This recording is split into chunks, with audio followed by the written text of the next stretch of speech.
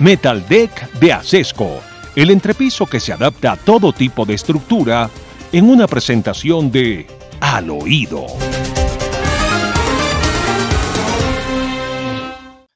Todavía hay luz en la poterna y guardián en la heredad. A ver quién decía eso de usted no lo sabe. Pero preguntemos a nuestros oyentes. Luz en la poterna y guardián en la heredad. Diana Diago, concejal por Bogotá.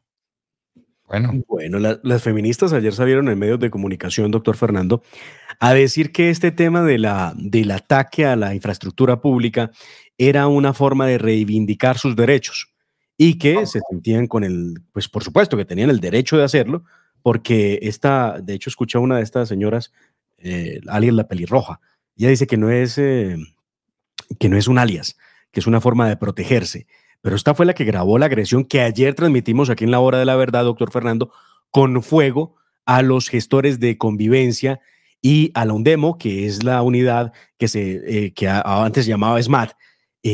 doctor Fernando, ¿estos creen que porque son mujeres entonces que salen a gritar y a protestar, tienen derecho de quemar la catedral primada. Recuerde usted qué fue lo que intentaron hacer hace dos años, prenderle fuego a la catedral primada. Y esta vez lo que han hecho es grafitear todo lo que se les encontró a su paso. Estas son las imágenes de esto que ellas llaman la protesta social y que el gobierno de Gustavo Petro ha exacerbado, dándoles a entender que es que aquí la protesta es válida aunque haya violencia de por medio. Y lo peor, los únicos investigados, en Medellín por lo menos hay un cartel donde las están capturando, a las que eh, hicieron daños contra las estaciones del metro. del metro. En Bogotá no hay ningún cartel de nada, no las están persiguiendo. Y ellas hicieron daño en las estaciones de Transmilenio, doctor Fernando, y dañaron monumentos y grafitearon paredes. ¿Qué tiene que ver la protesta social de estas señoras feministas con destruir locales comerciales en el centro de Bogotá? daba pesar ver la reacción de los dueños de los locales diciendo, ¿por qué me destruyen el local si yo no estoy haciendo nada? Yo no tengo que participar en una marcha, no tengo por qué apoyar, no tengo por qué nada, yo solo quiero trabajar.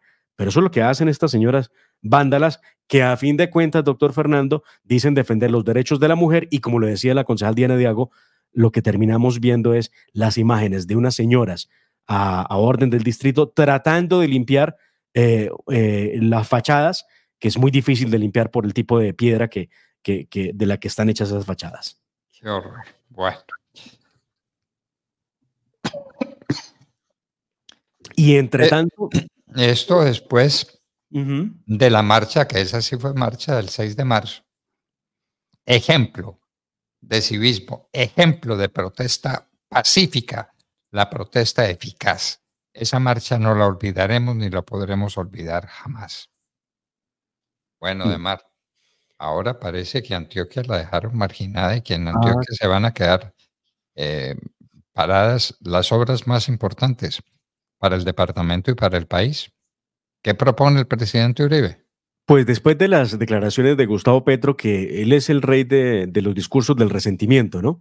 porque recuerde usted que entre tantas cosas que ha dicho Gustavo Petro, afirmó que más o menos en eh, la preocupación en Antioquia con ciertas vías para que terminaran los proyectos era porque los ricos eh, son los que transitan por esas vías. Esto ya lo había dicho antes.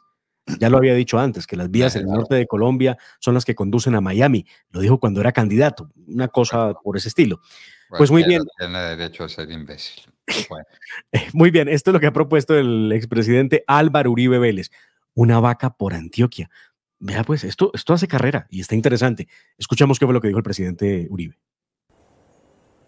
Si en el gobierno nacional incluso deben concluirse las vías que cruzan por Antioquia de interés para todo el país, que enfrentemos este desafío cívico, que un millón de antioqueños aporten, aportemos de a millón de pesos unos más, otros menos, unos a título de donación, otros a título de préstamo, que esto lo lideran el gobernador, el alcalde de Medellín, los alcaldes, la empresa privada, los grupos cívicos, los trabajadores de Antioquia. Salgamos adelante, enfrentemos este desafío cívico. Hemos podido con cargas mayores. Mm, bueno, Esto es, pues, eh, Antioquia, Antioquia Federal, ¿no? Porque no les queda más remedio. Pues es, increíble, doctor Fernando, pero además no está, la idea no ha caído mal, la idea, la idea no cayó mal en los sectores eh, económicos de Antioquia, que necesitan, doctor Fernando, entre otros, que avancen y terminen obras importantes como el túnel del Toyo, que comprende unos tramos entre eh, de unos 37,67, 37, casi 38 kilómetros, eh, con 30 puentes, 18 túneles. Oiga la envergadura de esta obra que los antioqueños están reclamando, pero el gobierno Petro está diciendo, un momento, el presupuesto no es para Antioquia, el presupuesto es para el Chocó, el presupuesto es para La Guajira. Pero ¿y por qué van a dejar paradas las obras? Y lo que está pidiendo Antioquia es, entréguenos a nosotros la, la, la responsabilidad y nosotros lo terminamos. Gran ejemplo Antioquia para el país en momentos en que el gobierno Petro cree que en Antioquia los que se benefician son los ricos de Colombia. Qué mezquindad tan absurda la del presidente. Mientras tanto, Maicao sin agua. Maicao sin agua. Entonces todo el escándalo de Petro con La Guajira y toda la visita a La Guajira y todo el escándalo y un estado de excepción constitucional para La Guajira y Maicao no tiene agua. ¿Cómo pues le parece? Fernando, al oído. No solamente se trata del sobrecosto grosero que hemos calculado, doctor Fernando, eh, fue de más de 20 mil millones de pesos con la compra de los carrotanques en la administración de Olmedo el hombre que fue director de la gestión de riesgo y desastres, sino que también los carrotanques que operan en Maicao, eh, a pesar de que hay varios, varios, varios eh, quietos, no, no, no hay cómo moverlos, pues acabaron con el agua que había en el municipio. Claro, ¿con qué iban a llenar los carrotanques? Pues con el acueducto local. ¿Y qué hizo el acueducto? Pues entregó toda el agua que tenía a los carrotanques. ¿Y qué pasó con la gente que tiene acometida, que tiene los, la tubería que llega a su casa? Pues nada, se quedaron sin agua. ¿Gracias a quién? A la improvisación del gobierno. Lo mismo iba a pasar en Uribia y el acueducto de Uribia dijo, venga, un momento, nosotros entregamos 50 mil litros diarios de agua a la población a través de nuestro sistema de acueducto. Si llenamos estos carrotanques con una capacidad que tienen de entre 15 mil y 17 mil litros de agua, pues realmente con cinco carrotanques nos quedamos sin cómo distribuir agua en el municipio. No lo podemos hacer. Pero pues no fue la misma suerte en Maicao, donde sí llenaron los carrotanques, pero dejaron sin agua al resto de la población. Qué horror, qué horror. Ah. el, gobierno del cambio. Bueno, ¿y quieren convertir a la UNP en una especie de policía? ¿Esto, esto qué significa? ¿Esto qué significa? Esta es una de esas ocurrencias, la más rara del mundo. Ayer que escuchaba al presidente Gustavo Petro y a su gobierno hablar del tema del lanzamiento de la línea Vida 103. Y pero ¿y esto? ¿Y acaso no basta con la línea de emergencias? Pues no. La Unidad Nacional de Protección, doctor Fernando, trataré de explicar en par palabras qué significa eso. Es la que se encarga de cuidar a las personas en situación de riesgo en Colombia, a los políticos, a los dignatarios. Eh, es el esquema de protección que ellos tienen, los escoltas que, todos conocemos, con camionetas blindadas, chalecos y armamento para cuidarlos a ellos. La Unidad Nacional de Protección ahora será la encargada de operar la línea vida, el número 103. ¿Y para qué la línea vida? Oiga esto que es más absurdo todavía. La idea de la línea vida es poder hacer una conexión entre los ciudadanos y la UNP para que los ciudadanos alerten sobre acciones criminales, eh, alerten sobre ataques terroristas. ¿Y qué hace la UNP? Y sobre desastres naturales. Bueno, ¿y qué hace la UNP si reciben noticia de que hay un ataque en alguna parte? La UNP, ¿qué hay? La UNP no es policía. La UNP tiene un grupo de escoltas, un cuerpo de escoltas, ¿no? eso. Sí, pero además, Fernando, una persona llama y dice, se está derrumbando la montaña. ¿Qué puede hacer una persona de la UNP para impedir que eso ocurra? o para atender la situación. De verdad que estas ideas del gobierno Petro, vamos a preguntar, doctor Fernando, ¿cuánto nos va a costar la idea de la famosa línea de vida, la 103, que Gustavo Petro acaba de lanzar? Qué horror. Bueno, hay nueva encuesta opinómetro, ¿no? Para que, para que sepamos qué está pensando la gente sobre sus grandes problemas. La nueva encuesta opinómetro, doctor Fernando, salió el día de ayer esta pertenece a Tesco. Voy a compartir pantalla brevemente para que ustedes vean. cómo está la imagen del presidente Gustavo Petro. Le han preguntado a los colombianos, eh, y aquí comparto pantalla aquí que para que todos podamos ver lo que dice la encuesta. Eh, ¿Usted aprueba o desaprueba cómo el presidente está manejando el país? En estos momentos tenemos, esta es la cifra, el 63% desaprueba cómo maneja el país, el 31% lo aprueba. Había eh, mantenido, según este sondeo en los últimos meses, una, una, una, una se había tratado de recuperar la imagen del presidente Gustavo Petro, pero no le va bien. Vea usted cuál es el mapa de Colombia respecto de las regiones. En Bogotá el 63% lo desaprueba, en la región Caribe, donde ganó ampliamente las elecciones, un 65% lo desaprueba, en la región central un 61%, en la región oriental, que estos son los llanos, el 71% lo desaprueba y en la región pacífica un 54% lo desaprueba. Pero también le preguntaron a los colombianos eh, algo que me parece vale la pena revisar. Cuando la población civil agrede a las Fuerzas Armadas, ¿usted considera que éstas deben defenderse y ejercer su autoridad o no defenderse y evitar un enfrentamiento?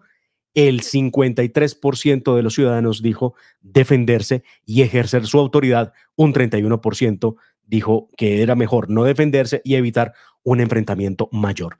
Es la encuesta de Atexco, doctor Fernando. Es decir, dejar la ciudad en poder de los vándalos. Eso es lo que quiere el 31%, el 31 que es la gente de Petro. Petro tiene... que ver con las sazonadas. Eh, la gente que sale a rechazar, a, sacar a patadas a la fuerza pública, igual al ministro de Defensa no le importa que eso ocurra. No, eh, no se da cuenta, pobrecito, no se da cuenta de nada no se da cuenta de nada y por eso cuando la gobernadora del Tolima le dice que el departamento está quedando en manos de las FARC, planadas, planadas, recuerden los más viejos como yo, lo que era planadas en manos de las FARC. Y eso lo dice la gobernadora y mientras tanto el ministro come, come y mastica en presencia de la gobernadora. Por favor, por favor, ministro, siquiera buena educación siquiera buena educación, ya que usted no tiene capacidad para nada, tenga buena educación. Ya le van a elegir fiscal. ¿Qué va a hacer usted con, con fiscal nueva? Porque la, la fiscal es suya, tenga la seguridad. Cualquiera que sea la decisión que se tome, la fiscal va a ser del ministro de Defensa. ¡Qué horror! Muy bien. Y no habrá erradicación de cultivos ilícitos este año. Eso quiere decir que seguimos en manos de la droga. El gobierno Petro, doctor Fernando, el año pasado decidió que la meta de erradicación para el 2024 sería de 10.000 hectáreas de matas de coca. Qué horror. Sobre 300.000 que hay. Es y sobre una resiembra del 70%. El 3%. Pretende, pretende erradicar el 3% con una eh, resiembra del 70% no pretende erradicar nada, nada, en manos de la cocaína. La cocaína es la dueña de Colombia.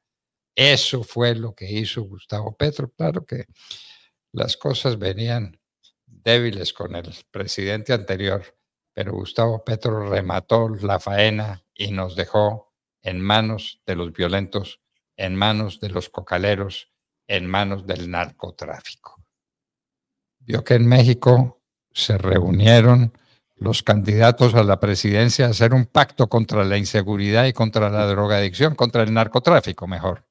¿Vio? Sí, señor, sí, sí, sí. Bueno, bueno, los tres candidatos a la presidencia de México tuvieron que hacer ese pacto porque a México se lo están comiendo los bandidos del narcotráfico.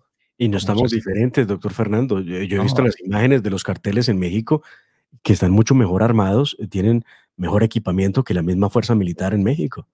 Ah, pues sí, aquí es un narcoestado, claro. Y aquí también porque son los ricos. Claro, pero por supuesto, los hemos visto en las calles de cuántos municipios de Colombia y andan eh, como si nada. Me contaban, doctor Fernando, que en este ciclo de conversaciones en el departamento del Guaviare, uno de estos eh, guerrilleros terroristas se enfermó y que eso no se imagina usted el despliegue. Ambulancias, médicos, paramédicos desde Bogotá, atención especializada. Esto es una vergüenza. ¿Ah? No, es que... Y la, gente muriéndose por falta de atención en cualquier hospital. Y tenemos un ejército que no se puede transportar de un sitio a otro porque no hay helicópteros. 11 helicópteros están en tierra esperando una, un overhaul total, que es lo que conviene, que parece que vale 5 millones de dólares cada uno. Quedan nueve helicópteros, nueve para un país de un millón cien mil kilómetros cuadrados. Haga la cuenta. Un helicóptero por cien mil kilómetros cuadrados. Ah, bueno, bueno, muy bien. Esto, estamos a, recordaba yo, de hecho, en una entrevista que le hice a John Frank Pinchao, que se escapó de, la, de las FARC, eh, cuando la toma a tú, doctor Fernando, en el 98, era la misma situación, no había cómo transportar a nadie, no había helicópteros, no había eh, aviones, no, no, había combustible, no había nada. Eh, a eso nos está devolviendo Gustavo Petro. No, nos está devolviendo, no nos devolvió. Nos devolvió. Sí, nos devolvió. No vamos para allá, ya llegamos. Colombia en manos del narcotráfico. Y así, queridos amigos, con esta con este panorama gravísimo, ustedes vieron lo que nos puede pasar si hay reforma a la salud, como nos lo dijo desde el Instituto de Ciencia Política la doctora Caterín que hizo una magnífica exposición sobre el particular Catherine Flores, eh, las cosas pueden empeorar y van a empeorar y están empeorando. Reaccionar, reaccionar, como le propone Álvaro Uribe Vélez a los antioqueños. Antioquia nombró un excelente gobernador y un excelente alcalde de Medellín. A reaccionar. No nos vamos a dejar quitar el país. Y así nos despedimos hasta mañana a las seis en punto de la mañana, cuando estaremos de regreso, Dios mediante. La familia, la familia duerme tranquila porque su techo está bien hecho. Bien hecho como las cubiertas Acesco. Por su doble capa protectora, son ultra resistentes a la corrosión y al paso del tiempo. Para que tu techo quede bien hecho, exige calidad Acesco www.lahoradelaverdad.com.co Escúchenos desde cualquier parte del mundo a través de nuestra página de internet. Opinión, deportes, cultura y entrevistas. Visítenos y participe. www.lahoradelaverdad.com.co Pase la voz.